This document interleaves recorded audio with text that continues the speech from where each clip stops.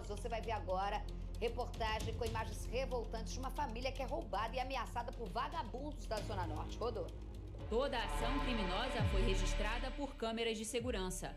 Os bandidos agem rápido e em pouco tempo cercam uma família.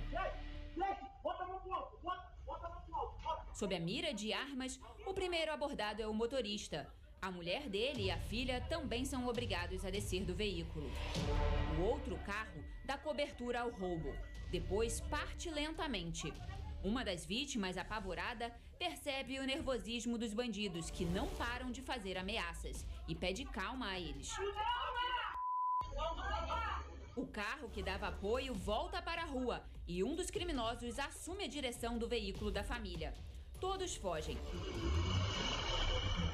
Assalto foi na rua Mogurari, na última quarta-feira, em Oswaldo Cruz, na Zona Norte. E mais uma vez, os que pagam impostos são as vítimas da bandidagem, que está cada vez mais cruel.